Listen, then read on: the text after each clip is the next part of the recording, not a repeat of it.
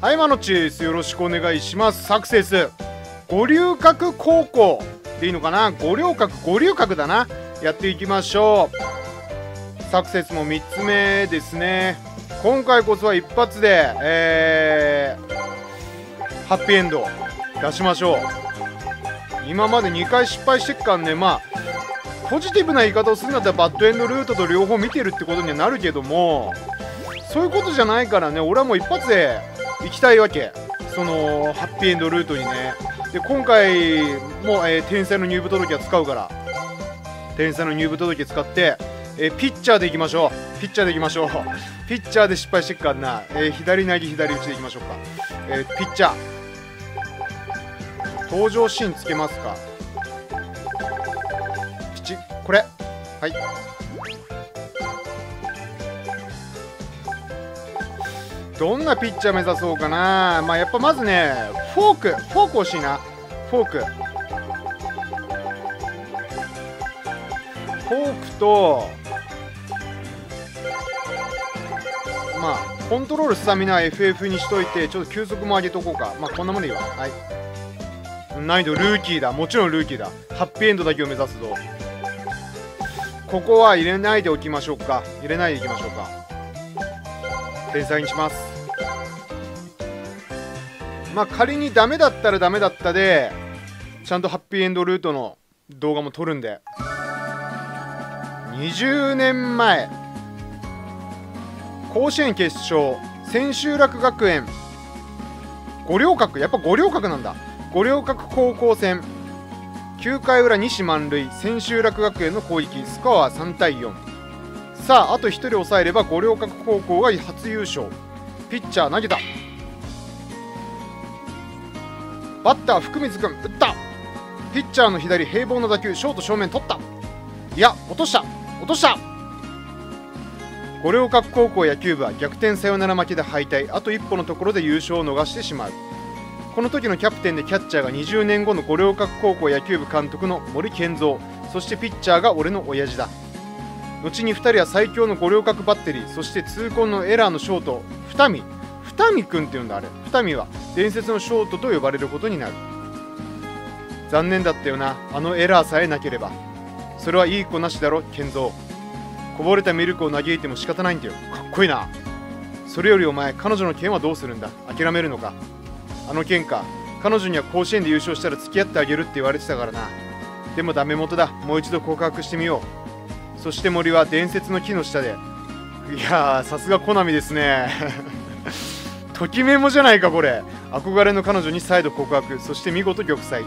その後彼女は甲子園優勝校の千秋楽学園のエース福光と結ばれてしまう。うーんなかなか辛い話っちゃ話ですね。20年後。あなるほどなるほどなるほど。おいら矢部明夫でやんす。よろしくでやんす。俺はマノッチこちらこそよろしく。マノッチ君もスカウトされてここに来たでやんすか。きっと地元ではすごい選手だったでやんすね。一応スカウトされては来たんだけど実はどうして俺がスカウトされたのかよくわからないんだ。俺そんなに実力ないし。おいらと同じでなかなか謙虚でやんすね。でもあの森監督に目をかけてもらったんだから絶対に何か持ってあるはずでやんす。集合!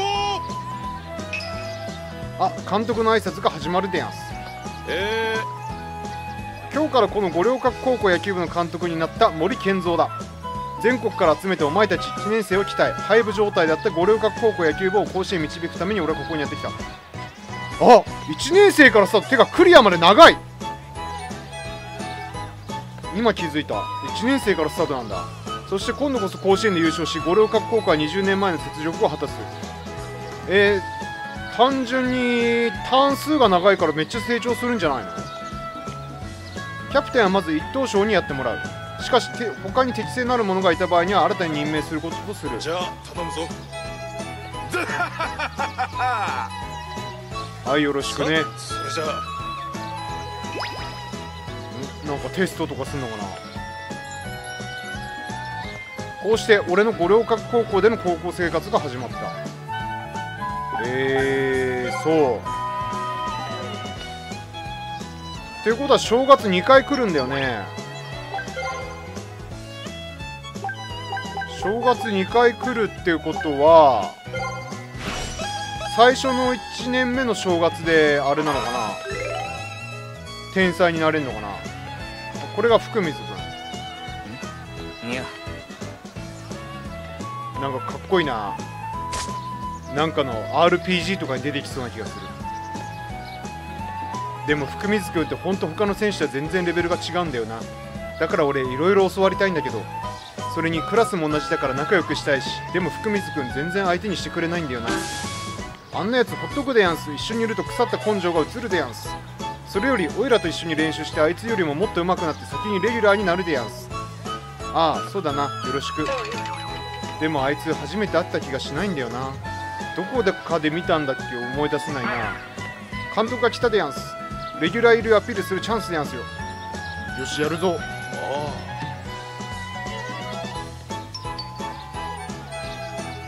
監督評価が大事ね。うほうほう。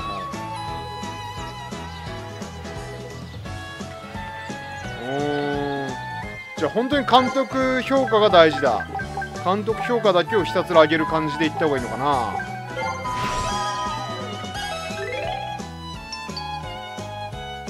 この五稜郭高校編では好きな女の子を1人選んで野球部のマネージャーに設定できます。マネージャーにしたい女の子1人選んでください。えー、そうなんだ。この江ノ下まなみちゃんっていうのは俺がサクセスやってる中で全然絡んだことがないんですよね。ちょっとまなみちゃんを彼女にしたいかな。彼女になるのかな？こんにちは。はいこんにちは。結構ボーイッシュな感じの子だよね。榎本さんか。ごめんなさい。江ノ下さんで読んでた。江ノ下さん。え榎本さん。お私は榎本七海。野球部のマネージャーにしてくれ。すごい勢いだね。俺たちは大歓迎だよねえ矢部くん。もちろんでやんす。厳しい道のりには花も必要でやんす。ちょっと待て。私はただのお飾りになりに来たんじゃない。みんなの力になりたいと思ってたんだ。ごめんなさいでやんす。とにかく俺たちは大歓迎だから後でキャプテンと監督には伝えておくよ。じゃあよろしくなまだあんまり話したことなかったけどいろいろテキパキとやってくれそうだね。おいらの青春街道も開けてきたでやんす。とりあえずは彼女よりも森下監督の評価でしょう。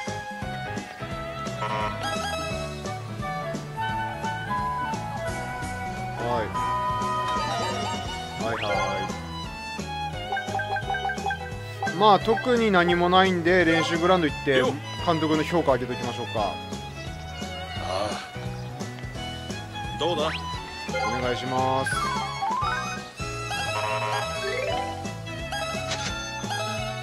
小遣い誰からもらってんだろう？だいたい1本の動画20分前後で撮っていきましょうか。ちょっと他のサクセスと違ってねターン数が多いから時間で決めてやってった方がなんか効率がいい気がするな。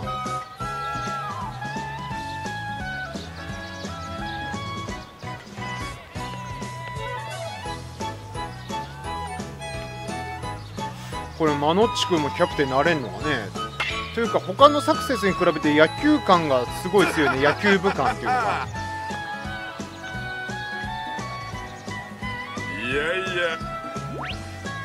えー、コツを教えてくれだな。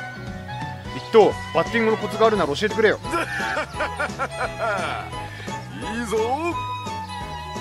一等翔君は何年生さ？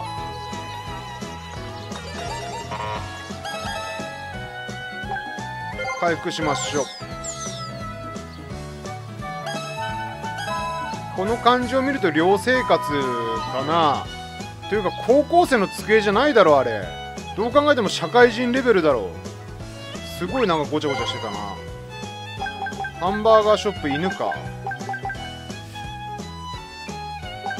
いやここは練習グラウンドだな。監督評価上げてまずはまずは試合に出ることだ。それが大事だ。5月。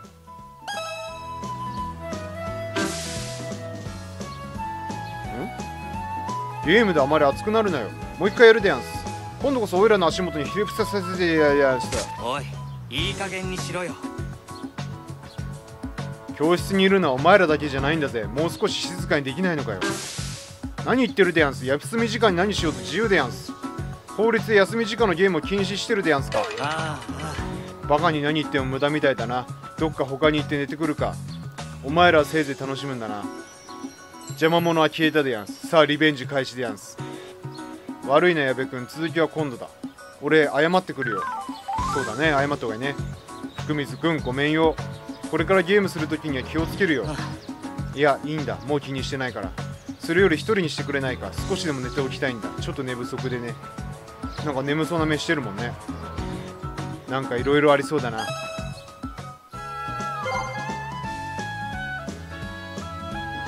うーんどうしようかな。これ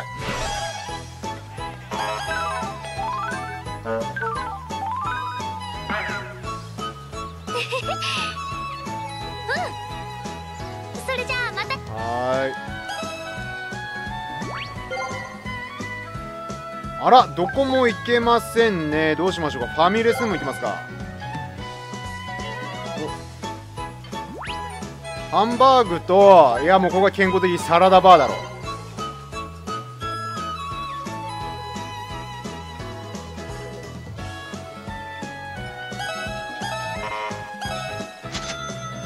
やっぱお金減っちゃうか。お金の使い道は何かあんのかな。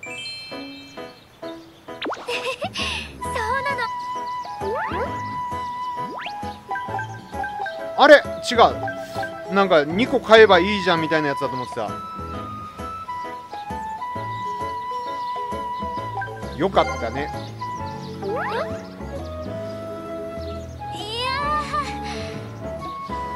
じゃあまたね。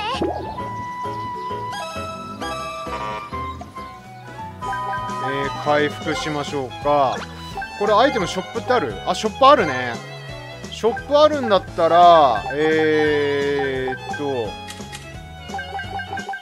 その他か。これも買っておきたいな。買っておきたいし体力回復時のねここれも欲しいんだよね。とりあえず彼女欲しい。これ買っとくわ。回復。彼女も欲しいけどな。てか移動が全然面白くないな。一応教室でも行ってみますか。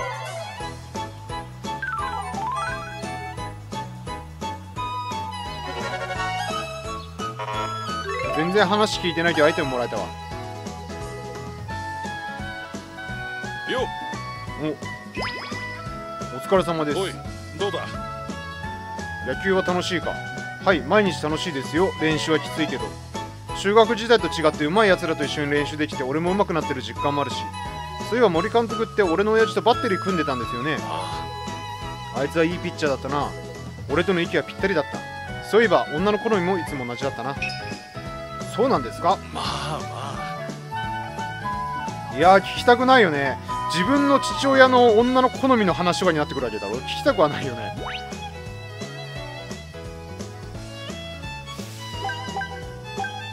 あー難しいね。なぜこの学校にかな？やっぱり母校だから？それとも最初の挨拶にあった20年前の雪辱を果たすためですか？両方だな。さらに言うとやはり俺たちが築いた野球部を廃部にしとくなし忍びなくてな。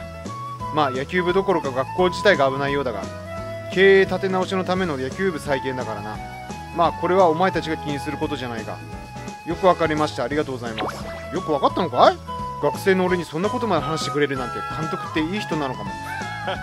なんか勘違いしてるようだが俺はそんないいやつじゃないぞ。お前を利用するための方便かもしれないぞええなんでわかったんあだ？冗談だよ。じゃあ気をつけて帰れよ。いやーただなんかあれですな。監督とこういう風に話せるっていうのはいい。ね。空気感がいいよね。なかなかないような気はするなこればっかりは運だもんな。どんな監督に巡り会えるかっていうのはね。ハンバーガーショップ行きますか。金がねえんだよな。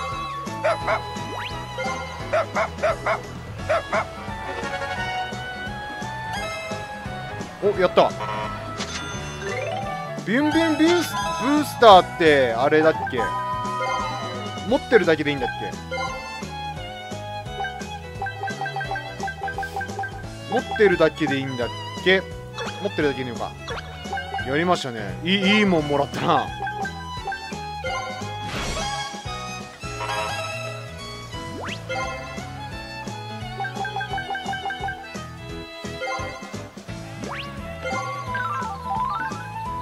まずはレギュラーをつかみましょう。腹減ったな。あれ？ここはどこだ？おパン屋があるな。小休止するか。いいですね。パン屋さん行きたいですね。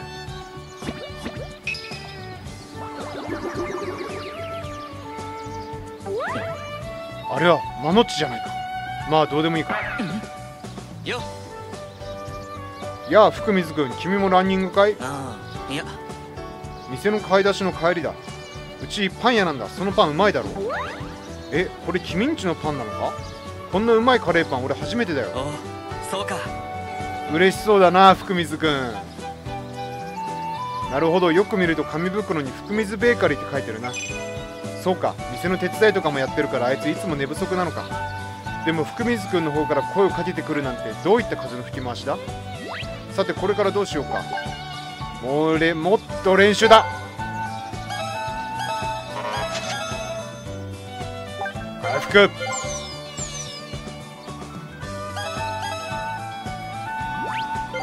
今のところあれですな。なんかこうストーリー。あこんにちは。はい。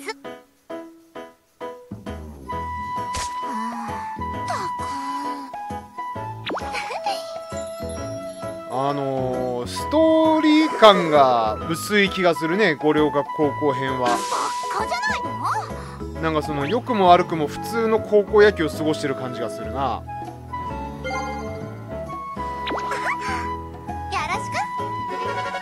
はいよろしく。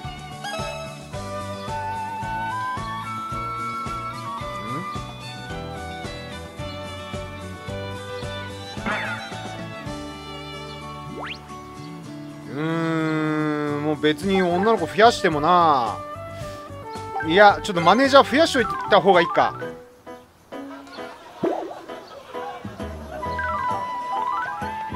実際に男子が群がるような女子なんてクラスにいた？見たことないよそんなの。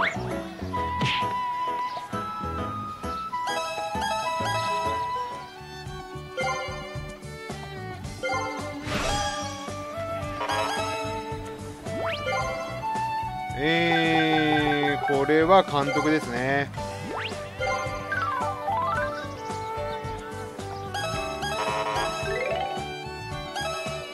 あたんおおどうした？福水くん。福水ベーカリーのカレーパン絶品だからな。毎日食べても全然飽きないよ。え？お前毎日食べてんのか？ああこれがないと生きていけない体になっちゃったみたいだ。でもさ不思議なんだけど福水ベーカリーのパンってこんなにうまいのに店は全然流行ってなさそうだな。ああいや。それなりには流行ってるんだぜ。全然儲かってないけどな。親父のこだわりのせいなんだ。こだわり？うんそうだな例えばそのカレーパンなら手作りルーを一から作り国産小麦粉と高級ごま油しか使わないとかだな。だからうちの店の原価率がめちゃくちゃ高くてほとんど儲けが出ないんだよ。それでこんなにうまいのに儲からないのか。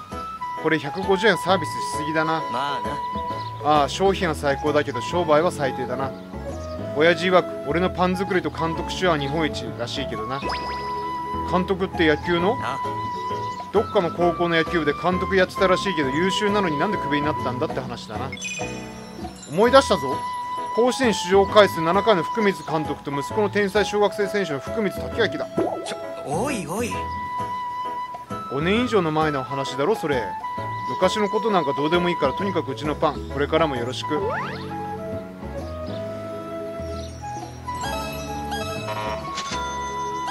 福光君いいいい子ですね資金が300円減った。カレーパン2個買ってんじゃねえよ。金ねえんだよ。2個買ってんじゃねえよ。1個で済ませとけや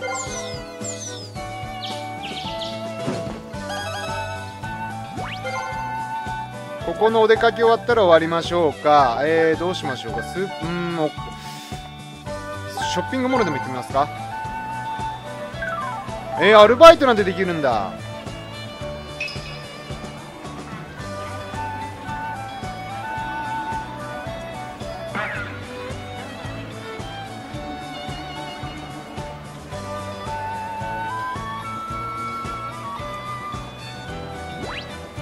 しょう。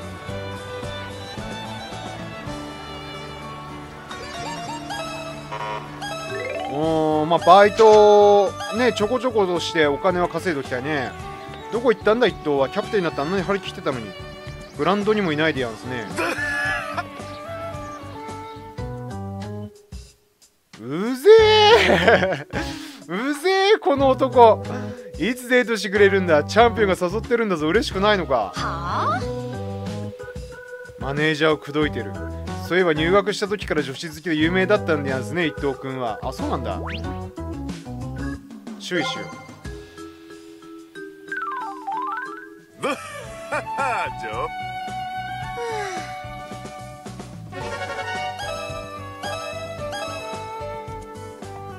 うよし今回はここで終わりましょうか明日あたり試合ですねちょっと試合に出れるかどうかは分かんないよね微妙なとこですけどねはいんではえー、ちょっと長くなりそうですな。まだまだ100ターン以上残ってるからね。これは一発でクリアしたいぞマジで。だってバッドエンドルート辿ったらさまた100ターンやり直しだからね。はいんではえー、終わり。バイバイ。